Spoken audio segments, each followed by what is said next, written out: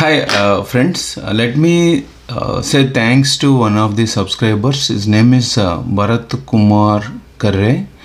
He said uh, Telugu BBC News and National NDTV. Thank you, brother.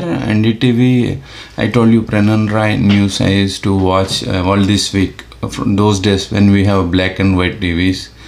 And now, I asked, I have asked this question um, on my community wall because whenever I am not sure of um, particular thing, then I post a question. Thank you, uh, brother. He suggested BBC Telugu News. Uh, that is a YouTube channel. That's a very good one. I subscribed and um, then GV Rammohan, if I'm correct. GS Rammohan, uh, editor uh, voice also I liked it very much and uh, they are very clear and uh, crystal clear the news. It is because uh, the TV9 Telugu uh, anchor uh, Devika insulted one of the Telugu film heroes or actors.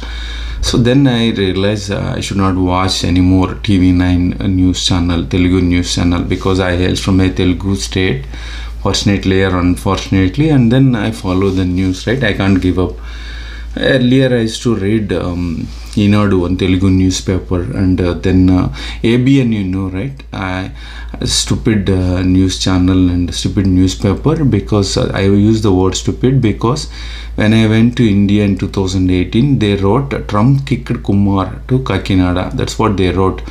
So somebody from Chaudhary caste uh, community from US gave me gave a, gave them misinformation. They printed it and telecasted it. That's how this TV mainstream media paid channels are worst. They are circulating fake news, bad news, and uh, target people in person. That's one. And uh, second uh, news is from Hyderabad. Um, Dalit boy married is a sweetheart from childhood friend. Uh, um, Muslim. She is from Islam, and uh, her brother uh, killed uh, that man.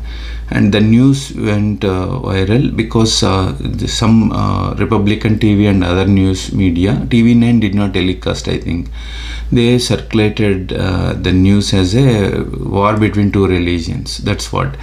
Then I thought of make a video in, uh, when I get time about uh, that particular topic: caste, religion, are blind, and women woman is not blind. I mean to say caste and religion um, put the woman in slavery.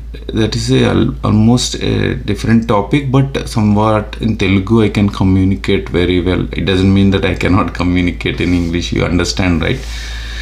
So the in detail i can go ahead and um, in my slang right mother tongue slang. So that's what i will make it after this uh, video. And uh, that's about the updates about the news in uh, India. Thank you for watching. I will make it in Telugu now.